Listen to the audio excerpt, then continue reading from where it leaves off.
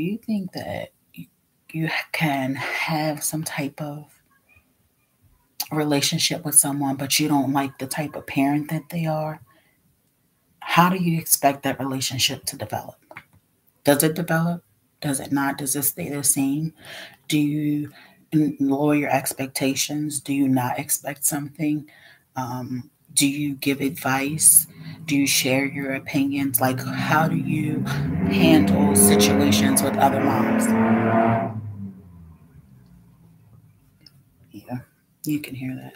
But how do you handle disagreements or, you know, because um, you know it's easy to be like, well, this is someone that I like, and this person is around me because they make me feel good about myself.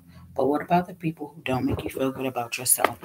Because you have a commonality, time, space, events, do you think you should continue to be friends with a person that you have nothing in common with just because you have time with them, but they don't like you? They just keep you around. Is somebody to like be a punching bag? If you have, maybe that's something we can talk about in the future.